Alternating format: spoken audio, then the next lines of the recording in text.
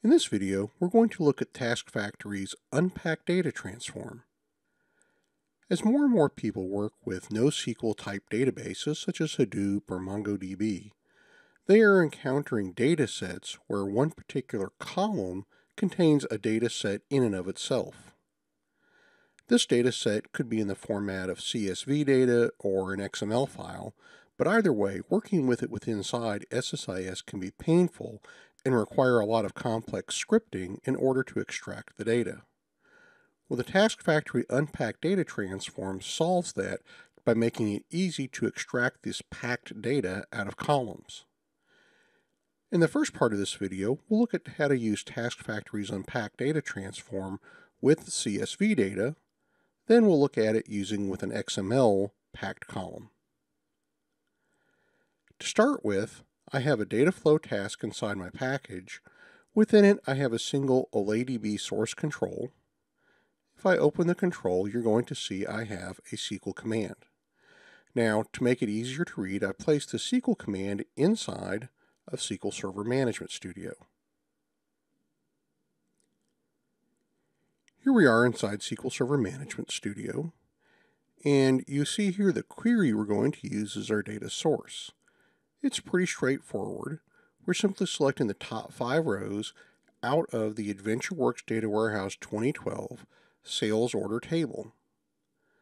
To create our packed column, we're using a T-SQL command called stuff. Stuff is a built-in function that lets us take a SQL statement and take the results of it and store it into a column in our ending result set. If I execute this query, and I scroll out here to the right, you're going to see our sales detail column, and it is full of CSV style data. Now to make it easier for you to see that, I have pasted it in down here, and this is a single row data. So this represents the very first row's worth of data, and as you can see, we actually have multiple rows in that result set. So let's jump back over to SQL Server Data Tools and see exactly how we'll unpack this into rows within our data flow. Okay, here we are. I'm going to click on our Unpack Data Transform, drag and drop it on the design surface, and we'll connect it up to our source. And as long as I'm here, I'm going to go ahead and lay out the destinations. For this, I'm going to use the simple Task Factory Terminator destination, for this example, we really don't have to write the data anywhere. We just want it to flow into a terminator so the package will actually execute. The unpack data transform actually has two outputs. The first output is just the raw output in which the rows without any changes or alterations are flowed out. And so that one we'll take here. The second one is the output with the extracted or unpacked data. So we'll drag that over here. And now I need to configure the unpack data transform. So we'll open this up. And we're going to go ahead and full screen this to make it easy to see. The first thing I need to do is indicate which column has the packed data. So I'm going to hit the drop down and it, and it is our sales details column that has that data. The next thing I have to do is tell it which columns do I want to include with the rest of the unpacked output. Now these are the columns that are coming from the source external to the packed column. And it is likely that you're going to want to include some of these along with the packed data. So I'm just going to pick three. Let's do the sales order ID, the revision number, and uh, the due date looks fine. We'll click on the due date. The next thing I have to indicate is what format is the pack data in. My two choices are delimited and XML. For this video, we're going to look at delimited now, and we'll look at XML in just a minute. Underneath my delimited, I have the various options associated with delimited. For example, I can tell it, does my data contain headers? What's my row delimiter? Do I want a different column delimiter? By default, it's comma, but I could pick something else and the text qualifier. For this example, we can just take the defaults. The next thing I need to do is tell it, okay, what columns am I extracting from the packed column? So I'm going to come down here and I'm going to click Add New. And if we looked at the output, the first column we want to get is the sales order detail ID. So I'm going to click in here. And for the name, I'm going to give it UKP sales order detail ID. Now, I am preferencing this with UKP on the front. This is just to make it easy for us when we look at the results to distinguish which columns are being unpacked versus the columns that are flowing from the original source. You're certainly free to name them anything you want to that makes sense. The next thing I have to do is the next thing I have to do is indicate which column in the pack my data is in. Columns are indexed starting with zero and going all the way through to the number of columns you have. Now, if we look back at the data set, we would see that the sales order detail ID is in the second column. But because our indexes all begin with zero, I'm actually going to put the number one in here. The next thing I need to do is tell it what data type this is. Well, I know that this is an integer, so I'm going to come down here and scroll up and we're going to pick the integer data type. With that out of the way, I'm ready to add my next column. For my second column, I'm going to pick the carrier tracking number. So again, I'm going to give it a column name.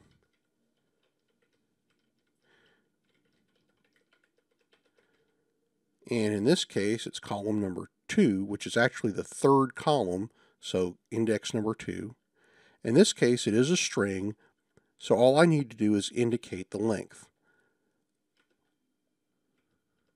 Now, unlike some of the other controls in SSIS, it's up to you to indicate the length. We don't try to default to anything because we found sometimes that can lead to errors. So next up, we're going to come and add our last column. And our last column is going to be the line total. So we'll come here and and the line total is actually in column 7 so I'm going to use an index of 6 here. Now I'm doing this to show that you don't have to use every single column. You can pick and choose the columns that you want. The next thing I need to do is indicate the data type and this is a floating value so I'm going to pick say DTR8 and now I can click on OK. Now let's put a data viewer on here. Enable data viewer. And let's actually go execute this now. I'm going to come over here to my Solution Explorer.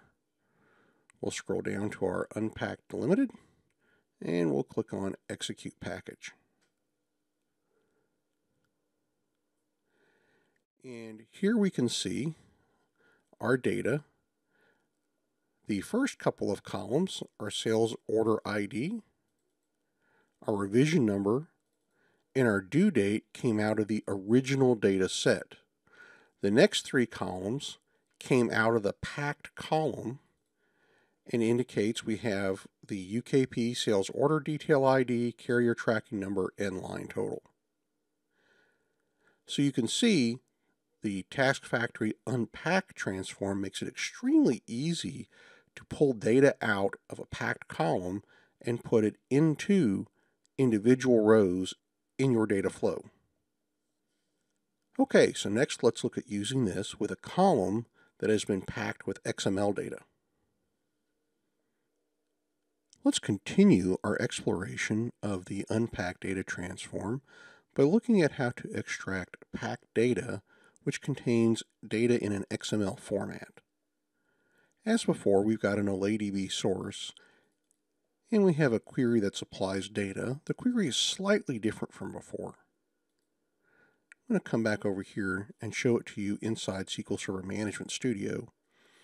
And the columns at the top are the same, but what's different is down here, we are extracting our data with a for XML so that we get an XML record set out of this. Now when I execute this query and I scroll over here to the right, you're going to see a column sales details and in it is data in XML format. To make it easier to read, I've pasted it up here into the query area. And what you see is one long row of XML data. So to make it easier to look at, I ran it through a prettifier to reformat it. And you can see I have my root sales details and my node sales detail. And then I have the individual columns contained herein.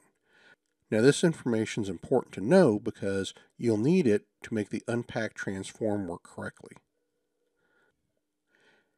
As before, we're going to drag our unpack data transform onto the design surface and we'll hook it up. And we'll also use a couple of terminator destinations as placeholders for our outputs. And we'll hook this one up to the standard output. And we'll hook this one up to the output which will contain our unpacked data. Now I open up our unpacked data transform. And as before, I need to indicate what column has our packed data. In this case, it's sales order details. And I'd like to include a couple extra columns in the unpacked output. Now, I would imagine in most cases you'd probably select them all, but for this purposes, we'll just pick three to keep the output small. And maybe we'll do the sales order ID, revision number, and due date like we did before. This time we're going to change our pack data format to XML. Now, when it changes, you're going to see a few things change. Instead of my delimiters, I now have my root XPath query.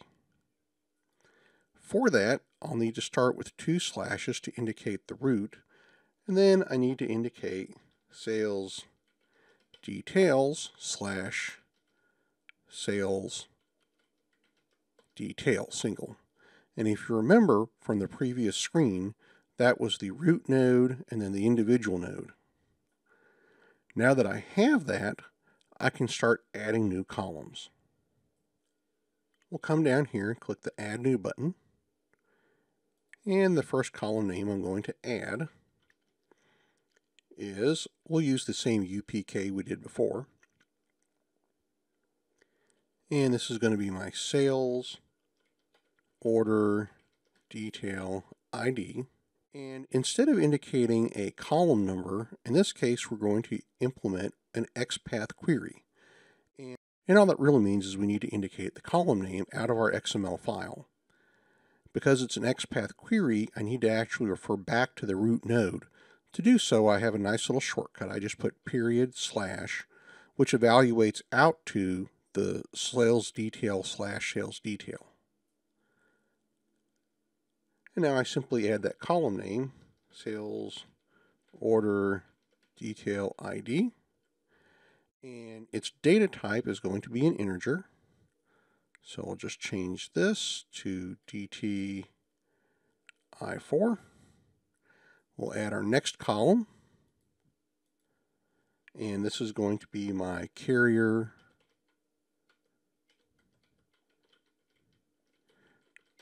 tracking number. And as before, we'll indicate the root by using the shortcut of dot slash. Carrier tracking number, and this is indeed a string, so we just indicate how big it is. It's 50. And we add one more column. And this is going to be you PK. And this is our line total. And we'll change its data type to a real. And we're going to click on OK. And we're going to add a data viewer to our unpacked output. And now we should be able to run the package.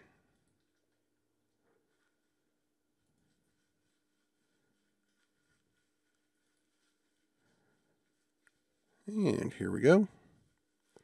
And we'll go ahead and full screen this, and sure enough, there is my unpacked data. You can see we have the ID number, carrier tracking number, and our line total. So with this, you can see how easy it is to work with the packed data that is coming from more and more disparate data sources and using these within your SSIS data flows. In this example, I have pulled data from SQL Server, but you're not limited to that. Any data source which has packed data in CSV or XML format can be used within your SSIS workflows.